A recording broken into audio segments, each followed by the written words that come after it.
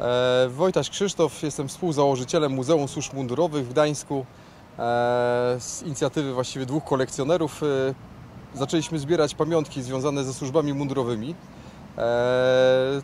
Troszeczkę się ich nazbierało, więc mamy okazję do tego, żeby pokazać je szerokiej publiczności. E, Ku uciesze dzieci i rodziców, którzy po- wspominają sobie lata 80., 70. Tu nie o politykę chodzi na tej wystawie, tylko o przypomnienie sobie tamtych czasów, o wydarzeń historycznych, historycznych pojazdów, historycznych przedmiotów. E, I można sobie tutaj zobaczyć, jak to e, się zmieniało. Ten okres, kiedy w latach 90. nastała policja, zmieniła się z milicji. E, Można zobaczyć też historię innych służb mundurowych, e, rekwizyty związane właśnie z tymi służbami mundurowymi e, przez lata, jak to się wszystko właśnie zmieniało. Zmieniało się umundurowało, uzbrojenie i wyposażenie tych służb mundurowych, czyli aż praktycznie do czasów współczesnych. Jest to taka inicjatywa po raz pierwszy chyba. Wiem, że są różnego rodzaju ogólnopolskie zloty organizowane pojazdów zabytkowych, gdzie tam pojazdy służb mundurowych się pojawiają, ale tak stricte e, tematycznie i żeby tutaj przez jakby e, jeszcze okres e, lat 70., 80., 90. to jakoś posegregować, e, ni- nikt nie pokazał tego w tak szerokim jakby zakresie. Natomiast przez te właśnie lata, gdzie zbieraliśmy różnego rodzaju eksponaty, e, mamy tego możliwość po prostu. Tu dzięki właśnie uprzejmości e, pani wójt gminy Stegna i właściwie dzięki dyrektorowi Gminnego Ośrodka Kultury Łukaszowi Niedźwieckiemu e, zawdzięczamy w ogóle tą e, wystawę, ponieważ był w pewnym sensie pomysłodawcą tego. Wiedział, e, jakimi dysponujemy zasobami w muzeum, ciekawymi eksponatami. Spotkaliśmy się właśnie z panem dyrektorem wielokrotnie na zlotach motoryzacyjnych, które były organizowane w Stegnie. I dzięki temu właśnie tak, powstał taki wspólny pomysł, żeby zorganizować taką wystawę. E, no oczywiście zgodnie z możliwościami, tak, bo mamy tutaj wystawę plenerową. Nie wszystko jesteśmy w stanie tutaj ze względów bezpieczeństwa pokazać. Między innymi broń, e, mundury, tak. Jest, ta, ta część jakby wystawy jest w pewnym sensie ograniczona, okrojona. Natomiast w przyszłości mamy taki zamiar, żeby e, pokazać całość naszych eksponatów, wszystkich. My tu z kolegą jesteśmy akurat e, współzałożycielami muzeum. Natomiast e, na, na ten sukces, na, na, na- te zbiory nasze i na stan tych pojazdów tak naprawdę pracuje spora grupa osób.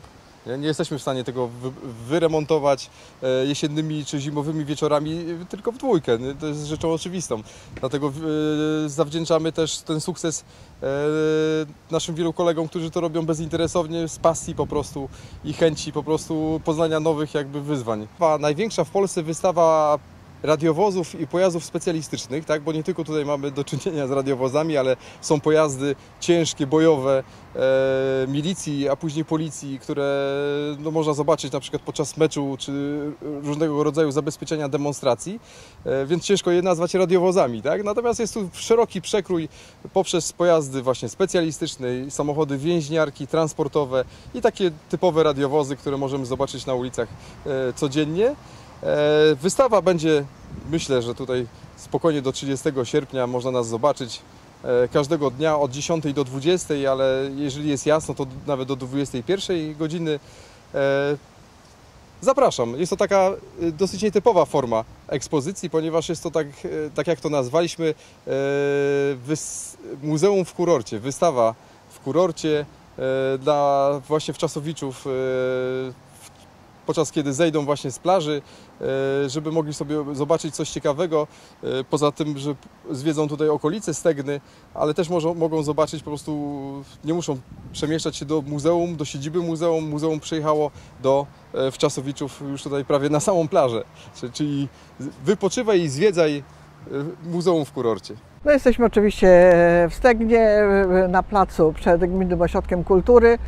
E, Jesteśmy bardzo zadowoleni, że udało nam się zorganizować w tym trudnym czasie, gdzie się martwiliśmy, że e, tak naprawdę sezon może być e, bez żadnych atrakcji turystycznych, przede wszystkim dla turystów.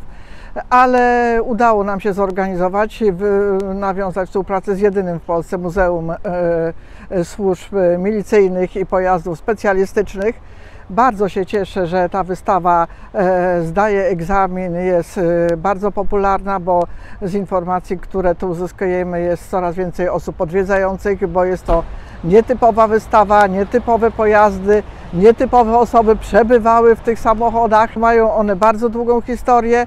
E, Myślę, że jest to świetna promocja przede wszystkim dla gminy Stegna. Bardzo serdecznie zapraszam nie tylko mieszkańców, turystów wszystkie osoby e, chętne. E, jest to świetna okazja, żeby zapoznać z historią. E, Tak naprawdę jest to bardzo trudny czas chyba dla wszystkich samorządów. Już na początku roku z uwagi na panującą pandemię musieliśmy odwołać wiele imprez, które odbywają się w gminie Stegna. Mieliśmy Mistrzostwa Świata w poławianiu burszynów, mieliśmy militaria, mieliśmy mieć lato z radiem, więc te główne takie imprezy, które jak gdyby promują nasze miejscowości, nie mogliśmy ich zorganizować.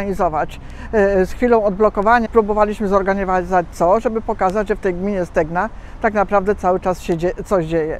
I udało nam się, jestem z tego powodu bardzo szczęśliwa, ponieważ mamy e, w jad- w jednym miejscu jakby skupienie, e, wystawę tych pojazdów służb mundurowych, mamy kinder, e, kinder niespodziankę, mamy wspaniałą wystawę e, bursztynu, gdzie jest w tej chwili e, Titanic, który został wpisany, otrzymał certyfikat, e, certyfikat e, e, rekordu Guinnessa, więc to są takie atrakcje, które mamy. Dodatkowo kino plenerowe, żeby po prostu mieszkańcy poczuli się bezpiecznie, więc to zaczyna funkcjonować i to ki- kino to funkcjonuje zarówno w Stegnie, jak i w Jantarze czy w Mykoszewie, czyli we wszystkich miejscowościach e, tych głównych turystycznych, tak, także ta oferta, mimo tej trudnej sytuacji, którą mamy, jest, mamy bardzo bogatą i myślę, że każdy e, z mieszkańców, w przypadku nawet braku pogody, bo wiadomo jak pogoda jest, to jest tylko plaża, znajdzie coś dla siebie, czy dla swoich bliskich, dla swoich rodzin, żeby pokazać coś, co nie zawsze e, do, do których można dotrzeć, dojechać i zobaczyć, bo są to,